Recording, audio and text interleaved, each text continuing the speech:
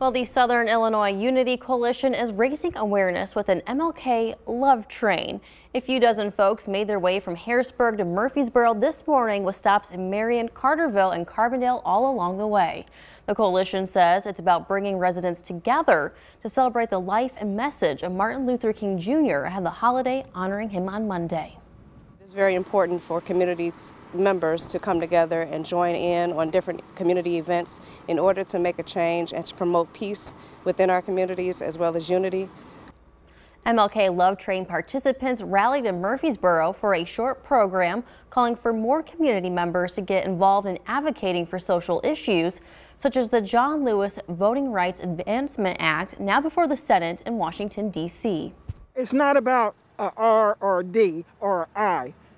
It's about us as humans and our humanity and the basic rights of people and trying to secure a vote that could possibly be taken away. They don't understand our democracy is so fragile.